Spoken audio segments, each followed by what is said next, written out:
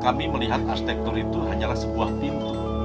Di balik pintu itu adalah harta karun, harta karun kebudayaan dan ilmu pengetahuan.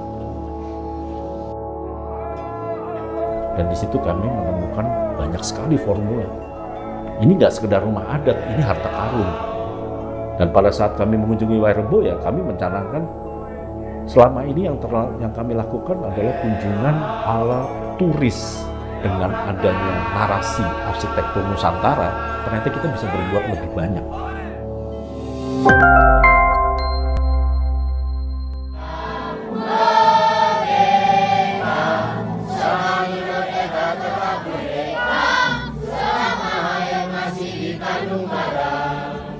Dan di Floreslah itu kami menemukan sebuah desa yang nyaris tidak ada pemberitaannya di media-media. Bahkan lokasi desa itu sendiri tidak orang NTT tidak tahu di mana. Desa itu harus dicapai dengan berjalan kaki selama 8 jam dan tidak ada jalan. Dan nyampe di sana ternyata desa itu bernama Wairebo. Nah, kami bertemu sama masyarakat Wairebo, kami diterima dengan sangat ramah. Mereka memperkenalkan diri semuanya kepada kami dan kami menjadi sangat spesial. Kenapa? Ternyata kami adalah rombongan orang Indonesia pertama yang tiba di Wairebo. Sebelumnya itu adalah turis-turis dari luar negeri. Pada kami pada saat kami datang ada rombongan turis dari Taiwan dalam pertukaran eh, desa kembar katanya. Desa yang mungkin masih punya hubungan dengan akar budaya dari Taiwan. Dan juga di situ ada antropolog dari Amerika. Sudah tinggal hampir satu tahun. Pada saat saya kembali, kami bertemu rombongan dari turis-turis dari Spanyol. Ini desa apa ya? Kok isinya orang asing semua yang datang mondar mandir? Ternyata saya pikir, wah ini ini sebenarnya bukan desa adat sembarang desa adat, ini jendela dunia sebetulnya yang kami lihat. Dan yang mengherankan kok nggak ada orang Indonesia yang tahu itu Wairebo itu di mana, apalagi peduli. Dan pada saat kami hendak pulang, kami berpamitan, kepala sukunya tuh bilang kepada kami, bagi kami orang datang dari Jakarta adalah orang tua kami. Waduh, itu pertanyaan yang sangat mengganggu pikiran saya. Selama kami pulang, akhirnya saya menemukan, oh, ini sebuah jawaban atas berbagai kunjungan kami sebelumnya. Kita diingatkan bahwa kamu arsitek, do something. Kamu harus berbuat sesuatu. Jangan hanya melihat saja. Kurang lebih pesannya seperti itu saya tangkapnya. Jadi ibarat kami ini, andai kata kami ini seorang dokter menemukan pasien yang sudah sekarat di pinggir jalan dan kami hanya sibuk meneliti penyakitnya dan kami menjadi terkenal gara-gara penyakitnya, pasiennya nggak kita urusin dan akhirnya mati ya, secara etika ya kita berdosa.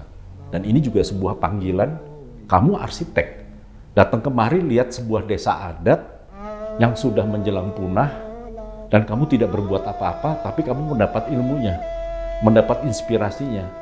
Secara etika, saya juga merasa ini ada yang tidak benar gitu. Dan setelah kami datang, kami lihat, ya kita harus berbuat sesuatu. Jangan menunggu orang lain yang membereskan. Anda lihat, dan Anda merasa itu tugas Anda, ya harus lakukan. Jadi sekembalinya dari Wairebo, kami mendirikan Yayasan Rumah Asuh.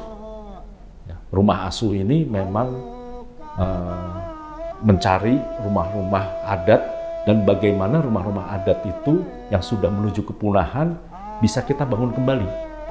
Caranya apa? Dengan melibatkan masyarakat adat sendiri dan dengan teknologi mereka. Ya.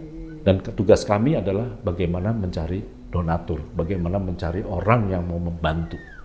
Dan awal-awal kami beruntung, kami mendapat donatur dari Ibu Tirto, dari Yayasan Tirto Utomo, yang dengan sangat baik hati mau membantu membangun rumah adat dan masyarakat sendiri yang membangunnya. Dan di situ kami menemukan banyak sekali formula. Ini nggak sekedar rumah adat, ini harta karun. Dan pada saat kami mengunjungi Wairebo ya kami mencanangkan selama ini yang yang kami lakukan adalah kunjungan ala turis.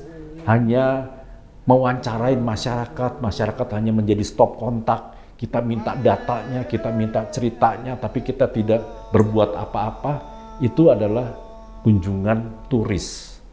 Dan saya nggak mau menjadi turis lagi, saya pensiun jadi turis, saya ingin menjadi bagian dari masyarakat, dan saya ingin melihat, tidak lagi melihat dari luar ke dalam, kalau kita menjadi bagian dari masyarakat, kita akan melihat dari dalam keluar.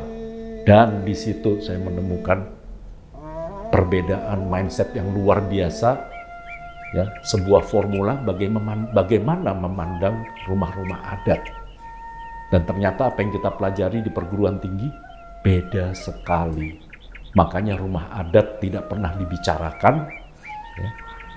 Dan akhirnya dibiarkan punah di depan mata kita sendiri padahal rumah adat itu adalah rumah hasil turun temurun yang selalu semakin lama semakin disempurnakan sampai pada suatu masa dia dilupakan. Kenapa dilupakan? Karena mindset kita sudah berubah. Narasi arsitektur Nusantara adalah sebuah narasi yang sangat mudah dipahami, yang bisa menjembatani antara arsitek langsung dengan masyarakat.